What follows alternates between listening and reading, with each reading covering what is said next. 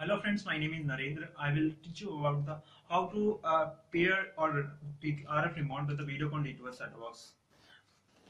First of all, when uh, we want to uh, pair remote with the Videocon D2H HD set-top box, firstly we have to press this button that is available on the back side of the set-top box. It's a reset button. Press this button for 45 seconds.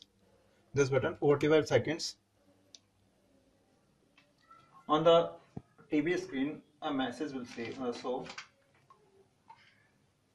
after the 45 seconds.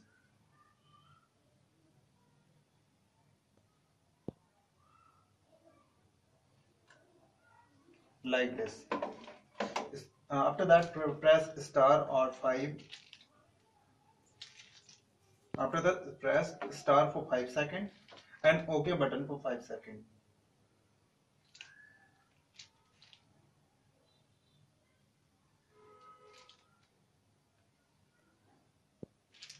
A message on your uh, TV screen that is the pairing uh, pin code number is a 390 after that this remote will successfully pair with the set-top box. We can able to change all the channel or all the activities by the using this remote. Like this you know I want to increase the volume of the set-top box. We can able to use this remote this. this is the RF remote. It's a uh, pairing is necessary for this amount for every box.